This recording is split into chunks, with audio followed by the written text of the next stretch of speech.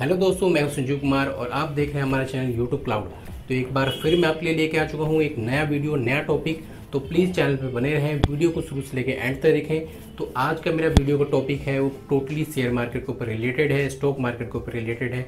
तो please video को careful पूरा शुरू से लेकर एंड तक देखें। काफ़ी ज़्यादा आपके लिए बेनिफिशियरी होने वाली है video. Let start this topic now hello guys ये वीडियो काफ़ी ज़्यादा छोटी होगी, लेकिन काफ़ी ज़्यादा इंपॉर्टेंट होगी।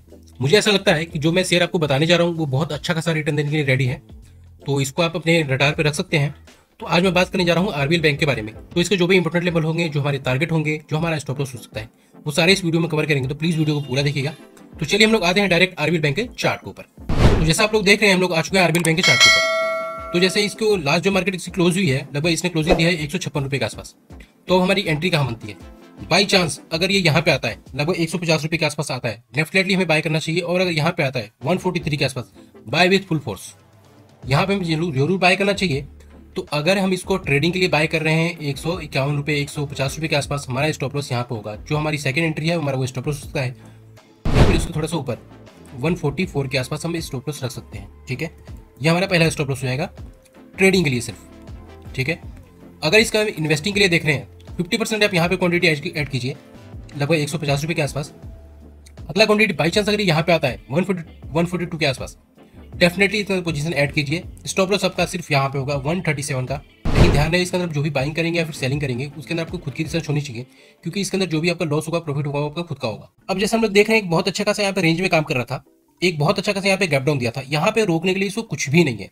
तो मुझे ऐसा लगता है बाई चांस अगर ये यहाँ पे आता है, हमें डेफिनेटली इसको ऐड करना चाहिए। बल्कि मैं करंट मार्केट प्राइस में भी लगभग फोर्टी परसेंट इसको ऐड करना चाहूँगा।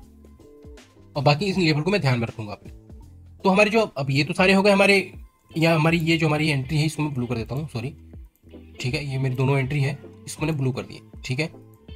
और ये मेरे, पहला ये जो स्टॉप लॉस है, ये ट्रेडिंग के लिए है। अगर इन्वेस्टमेंट के लिए करें तो दोनों लेवल को एक साथ में करके स्टॉप लॉस हम यहाँ रख सकते हैं एक सौ छत्तीस रुपये का उसके जो हमारे टारगेट होने वाले हैं, मेरा पहला टारगेट होगा ये, एक सौ पैंसठ रुपये का। इसको मैं कर देता हूँ ग्रीन अगला टारगेट एक सौ बहत्तर रुपये उसका अगला टारगेट होगा यहाँ पे. ये सारे एक ना एक रेजिस्टेंस है इसके लिए. एक सौ छिहत्तर रुपये और उसके बाद अगर ये एक सौ छिहत्तर के ऊपर भी अगर सस्टेन करता है तो मुझे लगता है लगभग दो सौ भी जाने के लिए रेडी है. बड़े प्यार से. लगभग यहाँ पे एक सौ तिरानवे जाएगा पहले.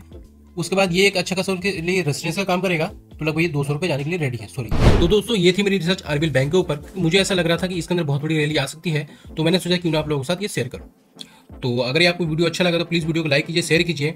और मेरे जो मेरे डिस्क्रिप्शन बॉक्स में मैंने अपने टेलीग्राम चैनल का लिंक दिया हुआ है उसको प्लीज़ ज्वाइन कीजिए। वहाँ मैं बहुत सारे ऐसे ऐसे फ्री में कॉल देता हूँ, जो आपको, वहाँ पे आपको एक अच्छा खासा प्रॉफिट दे सकते हैं। लेकिन ध्यान रहे ट्रेडिंग करने से पहले खुद की रिसर्च बहुत ज़्यादा ज़रूरी है।